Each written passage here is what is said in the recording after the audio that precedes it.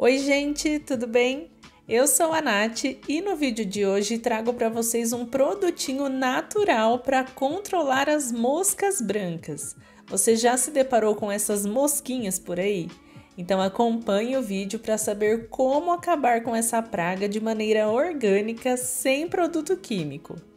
Antes, eu só quero pedir para você se inscrever no canal e ativar o sininho das notificações. Dessa forma você me ajuda muito e recebe os vídeos assim que eles são postados. E desde já eu te agradeço.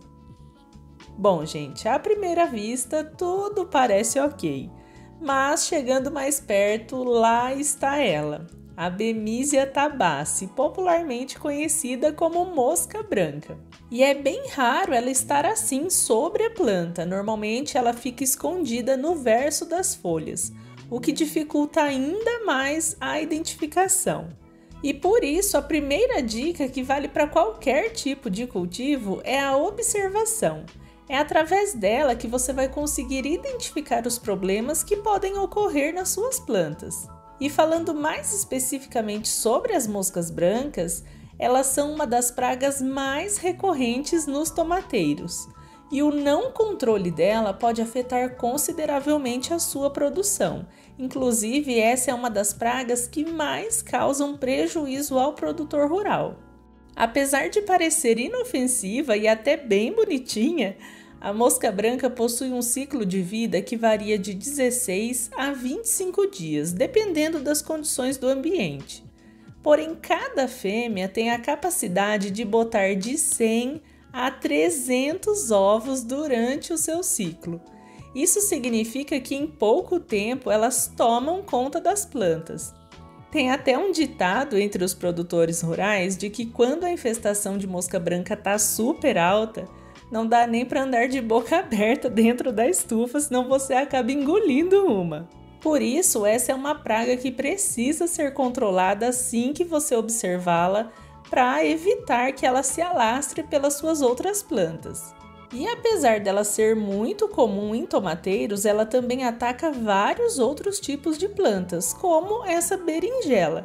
A parte de cima da folha está aparentemente saudável, mas ao olhar na face inferior dá para ver as moscas, as ninfas, que são meio transparentes e ainda não chegaram à fase adulta, e os ovinhos.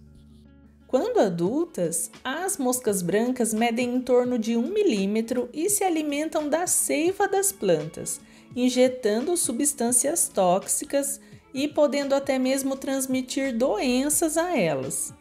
Tudo isso diminui o vigor das plantas atacadas, induz anomalias fisiológicas e podem deixar os frutos com um aspecto isoporizado, além de afetar o processo de maturação deles. E como se não bastasse, as excretas da mosca branca também afetam a planta. Essas excretas parecem um melado que atrai um fungo conhecido como fumagina também é comum encontrá-lo em plantas atacadas por cochonilhas e pulgões. Todos esses insetos excretam essa substância açucarada e sobre ela o fungo se instala. Muitas pessoas acabam utilizando um fungicida para resolver o problema e o fungo até acaba sumindo, mas ele volta novamente porque o problema em si não foi resolvido uma vez que o produto correto a ser utilizado nesse caso é o inseticida, que vai controlar esses insetos. E como eu comentei no começo do vídeo, eu vou utilizar aqui um inseticida natural, muito comum na agricultura orgânica, o óleo de nim. Ele é extraído da semente da árvore Nim, que é nativa da Índia, e consegue controlar a mosca branca e alguns outros insetos, como os pulgões, as cochonilhas, os tripes. E antes de aplicá-lo, você pode retirar algumas folhas que estejam mais feias, mais afetadas. Normalmente são as folhas que ficam no baixeiro da planta. E lembre-se de colocá-las num saquinho fechá-lo com um nozinho e depois descartá-lo. E então a gente faz a pulverização. Eu vou utilizar o óleo de nim da Purunim, que você encontra lá na minha lojinha virtual, é lojameuquintal.com.br. Vou deixar o link aqui na descrição para você dar uma olhadinha lá depois. A embalagem recomenda a utilização de 10 ml do óleo de nim para cada litro de água. Eu prefiro utilizar 5 ml para cada litro de água. Isso porque tem feito dias bem ensolarados por aqui, então para evitar queimaduras nas folhas, eu vou diluir 5 ml do óleo de nim para 1 litro de água. Aqui no caso, eu medi 20 ml para 4 litros de água. E esse pulverizador, que tem uma haste de pulverização, é legal porque as moscas brancas tendem a ficar na parte de baixo das folhas. Então, com ele, a gente consegue alcançar melhor todas as partes da planta. E será que uma pulverização é o suficiente? Infelizmente, a resposta é não. Isso porque hoje nós vamos atingir as moscas adultas, mas os ovinhos ainda podem eclodir. Por isso, o ideal é que você repita essa pulverização uma vez por semana durante três semanas ou mais, se necessário. Só assim você vai conseguir quebrar o ciclo do inseto. E aqui vai a última dica e ela é muito importante. Essa pulverização deve ocorrer ao final da tarde, quando o sol já estiver se pondo. Se você fizer essa pulverização sob o sol do meio-dia, provavelmente as suas plantas vão queimar.